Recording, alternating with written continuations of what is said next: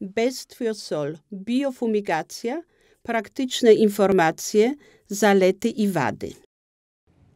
Cześć, mam na imię Vincent i od 15 lat prowadzę badania nad biofumigacją. W tym filmie Best for Soul uzyskasz wiele informacji na temat tej metody zwalczania chorób, która została opracowana w celu zastąpienia chemicznej fumigacji gleby.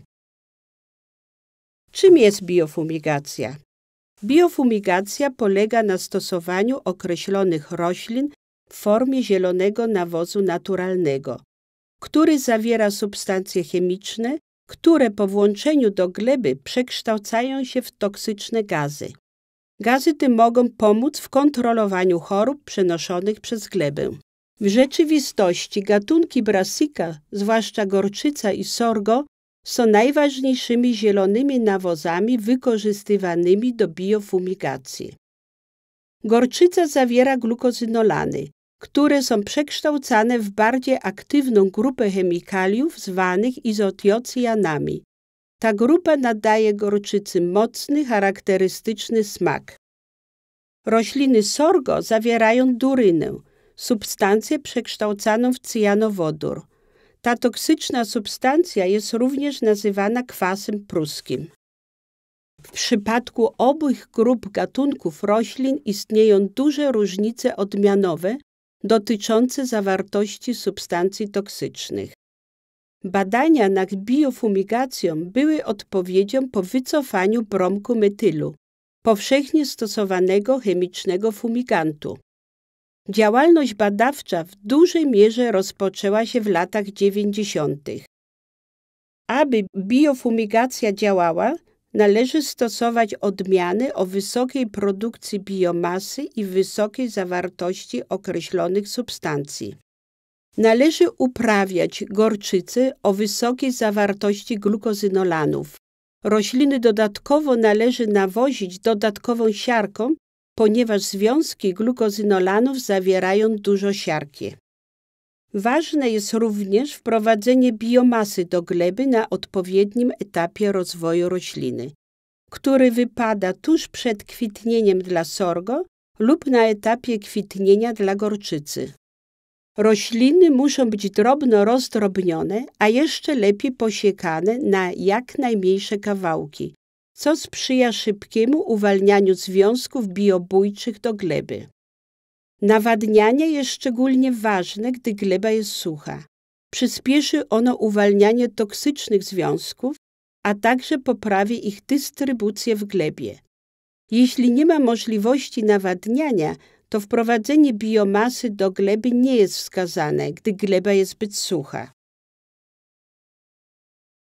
Mimo, że biofumigacja opiera się na wytwarzaniu substancji toksycznych, jest to metoda naturalna.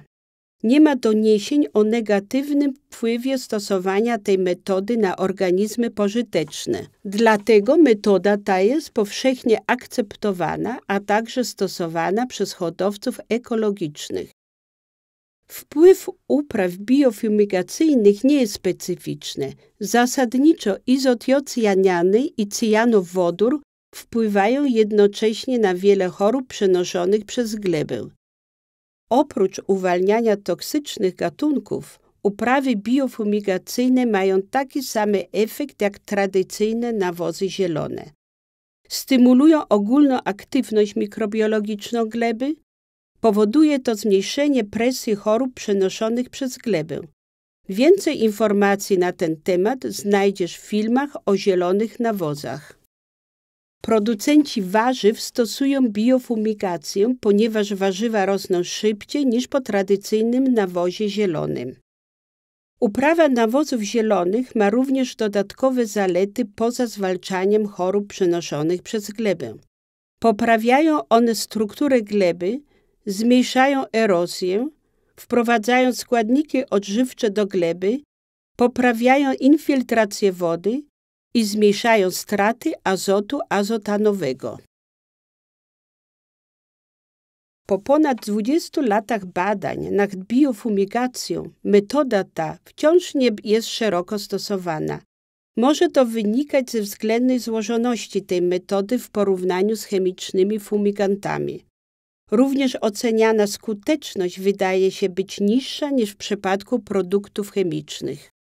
Ilość toksycznych substancji wytwarzanych przez wprowadzenie świeżych roślin może być zbyt niska, aby zabijać patogeny, które mają organizmy o grubych ścianach komórkowych, które chronią je przed uwolnionymi gazami.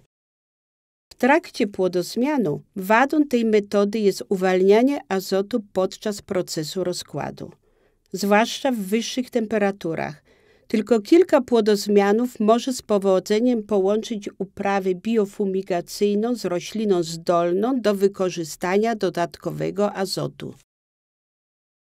Większe ilości substancji toksycznych są wytwarzane przez produkty pochodne ze specjalnych upraw biofumigacyjnych, takich jak na przykład odtłuszczone mączki z nasion.